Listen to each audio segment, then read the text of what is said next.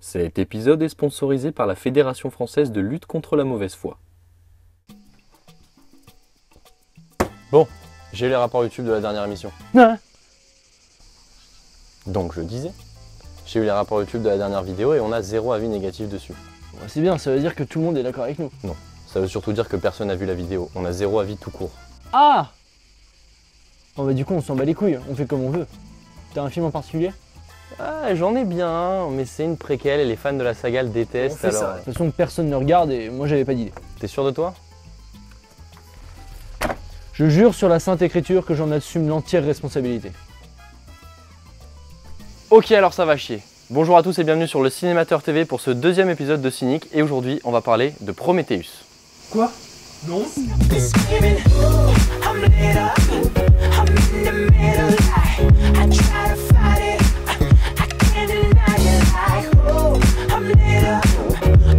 Approaching midnight. I try to fight it, but it's just too much for me.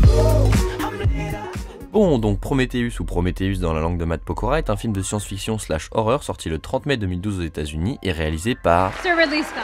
Ridley Scott qui a réalisé un paquet de bons films, notamment Alien, Blade Runner ou Thelma et Louise et plus récemment Seul sur Mars. Une film au plaqué or donc, mais avec quand même quelques grosses traces de pneus, notamment Cartel, Exodus ou encore Gladiator. Et je sais que beaucoup d'entre vous ont aimé Gladiator, mais moi Russell Crowe je peux vraiment pas, encore moins en jupette. Je ne cautionne pas ce message plein de haine. Bien évidemment, on va spoiler à balle, je préférais juste vous prévenir comme ça vous pourrez pas dire que vous étiez pas au courant. Le film commence par un générique qui a vraiment de la gueule mais qui est vraiment très long donc on va l'accélérer un peu.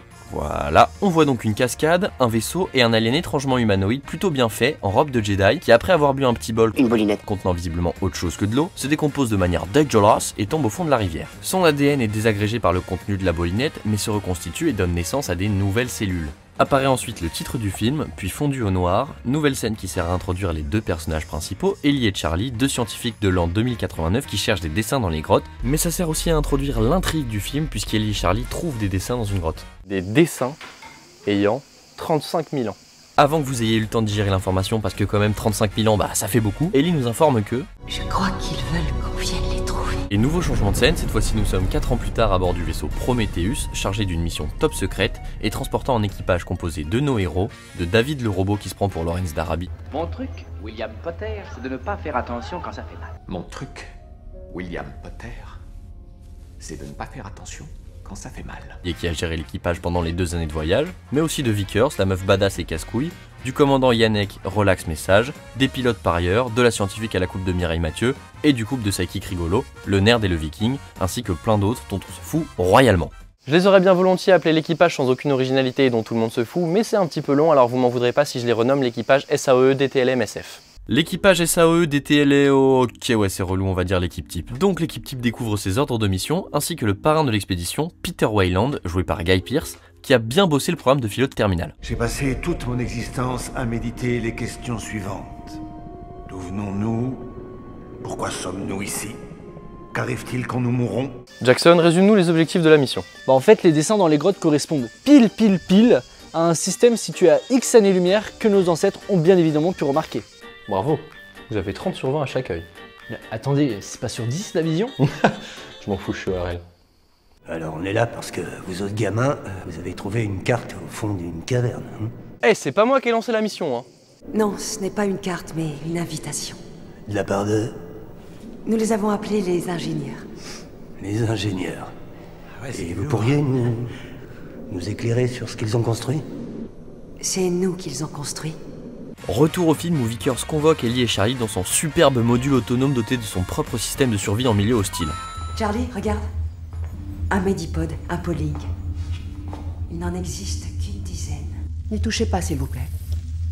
C'est une technologie hors de prix. Elle opère à cœur ouvert. Ça vous sert à quoi?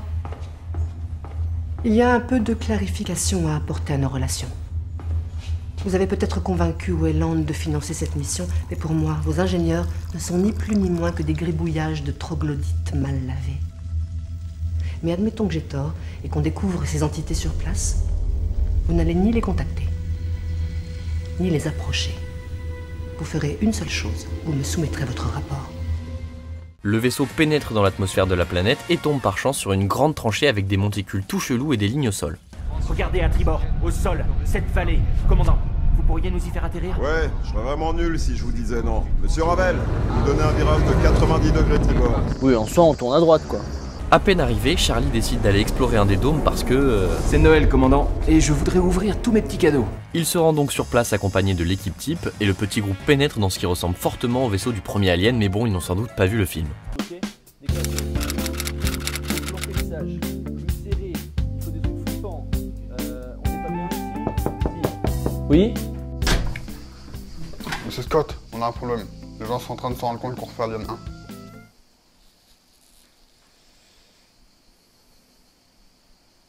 Ok, j'ai une idée. Tu me fous des hologrammes partout dans le vaisseau. Des jarres chelous et une tête géante. Ok Bon, pour le nouveau film, j'ai des idées. 2. Plan serré, plan paysage. Une tête géante?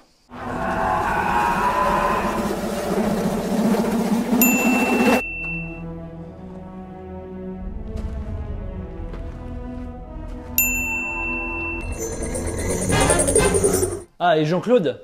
Oui Rajoute-moi une fresque. Et avec un alien dessus, hein, parce que sinon les gens vont se perdre. C'est une fresque. Bon, pendant que Shaw est occupé à emballer la tête et que David ramasse un conteneur identique à celui qui a libéré un liquide noir chelou, ce qui est forcément une mauvaise chose, Yannick prévient l'équipe type qu'une grosse tempête se prépare et qu'ils doivent donc rentrer fissa au vaisseau.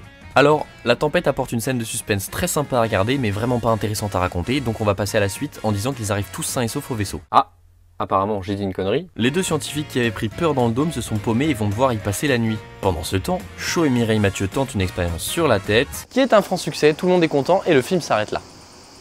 Non? C'est pas comme ça que ça se passe? Bon bah Océane, file-moi le toplexil qu'on en finisse là parce que. Du toplexil? Mais c'est du sirop pour la toux. Ouais, j'adore le goût. Donc l'expérience est un immense échec et pour fêter ça, David offre un verre à Charlie qui est devenu alcoolique depuis son retour au vaisseau et ne me demandez pas pourquoi j'en ai aucune idée, après y avoir mis une goutte de cet étrange liquide noir. Et là, accrochez-vous à votre slip, le film ne nous offre pas une, pas deux, mais trois sous-intrigues. Charlie qui a bu du liquide noir, David qui parle à un mystérieux homme resté dans un caisson de stase, et enfin nos deux couillons paumés dans le dôme. Alors nos deux couillons déambulent dans le vaisseau jusqu'à retrouver la grande salle où ils étaient tout à l'heure, malheureusement un des verres a muté et est désormais Une énorme bite avec un anus comme bouche. Fifield ou Milburn. Non, Fifield. Enfin, je sais pas, on s'en fout. Tente de s'approcher de la bestiole. Ce qui est en soi une mauvaise idée. Mais nos deux abrutis ne connaissent visiblement pas cette règle puisqu'ils s'approchent encore et à force d'approcher arrive ce qui devait arriver, une faciale d'acide et un meurtre par viol de bouche. Retour à Charlie et à Shaw, Elisabeth montre à Charlie que l'ADN des ingénieurs est antérieur au nôtre, Charlie fait une boulette et du coup il copule. Enfin, c'est pas exactement comme ça que ça se passe, mais c'est relativement pas important. Que nenni Tu oublies le fusil de Tchekhov acheté à la foire fouille. Eh oui, elle est stérile. Et à son réveil, Charlie se sent bizarre. Ça a peut-être un rapport avec le verre alien qui lui sort de l'œil, non?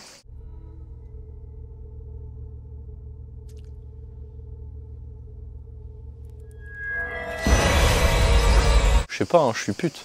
Toujours est-il que l'équipe repart en exploration avec Charlie qui est en petite forme pour retrouver les deux couillons dont on n'a plus de nouvelles. Pendant ce temps, David se la joue perso, parfouille une autre partie du vaisseau et finit par tomber sur une soute pleine de containers à liquide noir et surtout sur un ingénieur encore en vie dans son caisson de stase. Il découvre aussi que la destination des ingénieurs était la Terre. Mais revenons à l'équipe qui retrouve le cadavre de Milburn ou Fifield. Bref, celui qui s'est fait violer la bouche. Alors que Charlie est pas super bien, Ellie décide de rapatrier tout le monde au vaisseau. Sauf que Charlie est vraiment très mal et Vickers, en parfait cliché de méchante insupportable et néanmoins totalement sensé, refuse de le laisser monter dans le vaisseau, car il est probablement victime d'une infection alien, peut-être contagieuse. Charlie, se sachant condamné, Charlie, se sachant condamné, se sacrifie.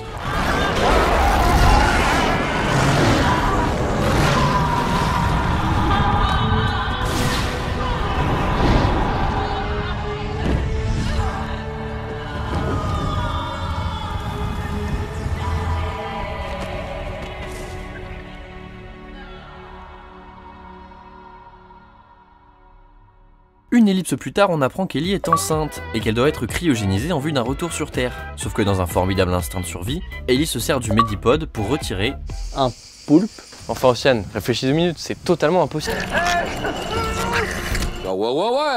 Yes Alors j'avoue que là, je suis perplexe. Mais bon, on va garder les questions génétiques pour plus tard. Elle se sert du Medipod pour retirer le poulpe et le cryogéniser. Pendant ce temps-là, celui qui s'est pris la faciale a été transformé en zombie et bute la moitié de l'équipage avant d'être exécuté par Yannick. Retour à Ellie, on apprend que la personne à qui parlait David un peu plus tôt dans le film est en fait Peter Wayland, qui a fait le voyage dans l'espoir que les ingénieurs puissent le maintenir en vie plus longtemps. Nos trois sous-intrigues sont donc résolues et on arrive au climax du film, la rencontre avec l'ingénieur. Alors, David fait une petite vanne. Vous en avez dans le ventre. Oh pardon. Mauvaise formulation.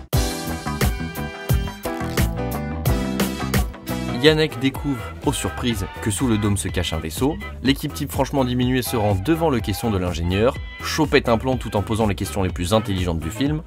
Demandez-lui d'où ils viennent. Qu'est-ce qu'il vous prend? Demandez ce qu'il y a dans son vaisseau qui a tué son peuple. Joe, ça suffit. David. Vous l'avez fabriqué ici. Et ça nous était destiné. Pourquoi? Mais ça suffit. Pourquoi? Faites la tête. C'était à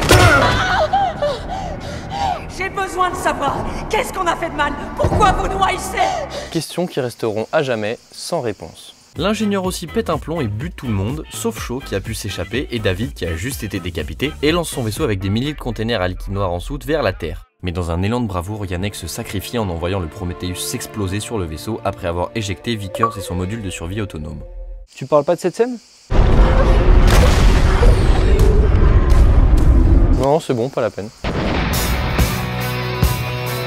Ellie va se poser dans le module de survie de Vickers quand David la prévient que l'ingénieur a survécu et vient la tuer. Heureusement pour elle, le poulpe dont au passage la bouche ressemble à de multiples vulves a survécu, insémine l'ingénieur avec un tentacule slash job et permet à Ellie de s'enfuir. Alors qu'elle est sur le point de craquer, David, encore lui, lui annonce que Ce vaisseau n'était pas le seul. et qu'il peut les piloter. Ellie décide de se rendre sur la planète des ingénieurs parce qu'elle se pose la question la plus intelligente du film. Ils nous ont créés. Et ils ont voulu nous détruire. Ils ont changé d'avis. J'ai le droit de savoir pourquoi. On a le droit ensuite à un long monologue sur fond de décollage du vaisseau, ainsi que l'apparition dans la dernière scène d'un pseudo-xénomorphe au cas où on aurait oublié qu'il s'agit de la préquelle d'Alien, et c'est la fin de Prometheus. Bon, bon, bon, bon, bon.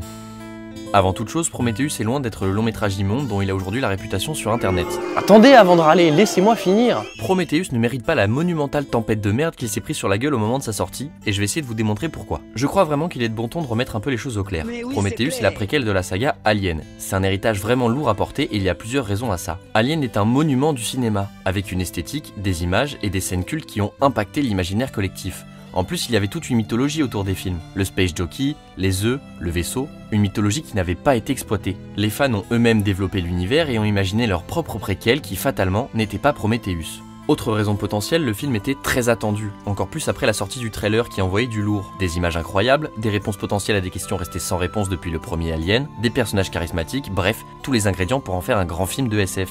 Donc clairement, pour un fan, Ridley Scott n'avait pas le droit à l'erreur. Et il s'est fait déchirer la gueule. Et j'ajouterais de façon un peu injuste au regard de la production du film. Déjà, il faut savoir que le projet a connu un bon gros enfer de développement des familles avec de multiples réécritures, et je vous conseille d'aller regarder sur internet les différentes versions du scénario et me dire laquelle vous aurait le plus fait kiffer. Bref, tout ça pour dire qu'il y a eu des tas de gens différents à la tête du projet, des gens qui donnaient une direction au film souvent divergente, voire opposée à ce qu'il y avait avant, et qu'il a bien fallu un jour que quelqu'un mette le point final. On pouvait donc légitimement penser qu'il y aurait des défauts, et Dieu sait qu'il y en a, on y reviendra aussi. Après, je suis parfaitement conscient que ce n'est pas une excuse et qu'il y a beaucoup de très bons films qui ont connu un enfer de développement, notamment lui là, voilà, lui. On en revient toujours à toi. Et je sais bien que l'enfer de développement ne justifie pas tous les défauts qu'on peut trouver dans Prometheus, mais ça aurait dû lui permettre de bénéficier d'un minimum de bienveillance à sa sortie. Ça n'a pas été le cas. Mais enfin, les fans ne manquent jamais d'objectivité, voyons. En fait, j'ai l'impression qu'il y a un peu le même problème, toute proportion gardée, qu'avec George Lucas et la prélogie Star Wars. Un réalisateur, véritable dieu pour les fans de la franchise, qui devient Satan himself lorsqu'il s'attaque aux origines de la saga. Le film qui en découle est accueilli avec froideur, voire haine, par ses soi-disant fans, fans à qui il convient de remettre les pendules à l'heure. Comme je l'ai dit en début de vidéo, Prometheus est loin d'être un immonde navet. Certes, Prometheus n'est pas le grand film de SF qu'il annonçait être. Certes, il y a des incohérences dans le scénario et il crée des incohérences au sein de la saga. Certes, il n'échappe pas à certains clichés du blockbuster hollywoodien. Coucou scène du vaisseau qui s'écrase. Et certes, il lance de manière assez putassière une nouvelle saga de films. Il n'empêche que ce long métrage a pour lui un certain nombre de qualités. À commencer par une réalisation en béton armé. Ridley Scott n'a plus rien à prouver. Il a le sens du plan esthétiquement recherché, de l'image marquante, du rythme maîtrisé. Et waouh, Prometheus a de la gueule, car il prend le temps d'installer ses environnements. Les teintes très grises, dénaturées, tranchent avec les couleurs habituellement plus flashy des films de SF. Tout dans ce film et sur cette planète respire la mort, froide, stérile. Les acteurs aussi sont très bons, ce qui est pas très surprenant vu le casting. Mention spéciale à Noomi Rapace qui joue tout en finesse et a une capacité incroyable à transmettre ses émotions. Par contre, carton rouge à Charlize Theron qui pour le coup surjoue tout sans aucune finesse. Enfin, si on passe sur l'aspect foi en Dieu renforcé par les événements traversés complètement cliché, Le film a le mérite de proposer une explication à l'existence de la vie sur Terre et de toute la vie, pas seulement l'humanité, même si on peut y lire la présentation de thèses créationnistes. L'apparition de la vie, c'est un sujet assez peu traité au cinéma. Et je me demande bien pourquoi d'ailleurs. Le but de cette chronique, c'était pas forcément de réhabiliter Prometheus, c'était juste de prouver qu'avec de la mauvaise foi, c'est facile de démonter un film. Mais qu'en se penchant dessus et en analysant sérieusement, on se rend compte qu'en fait, c'était pas si mal. Voilà, c'était Prometheus et c'était costaud. Je vous encourage fortement à vous faire votre propre avis et à me le donner. Si ça se trouve, c'est moi qui suis de mauvaise foi. En attendant, je vous dis à bientôt pour Cynic 3. A plus, Océane. Au revoir. Salut à tous et surtout, n'oubliez pas. I'll be back.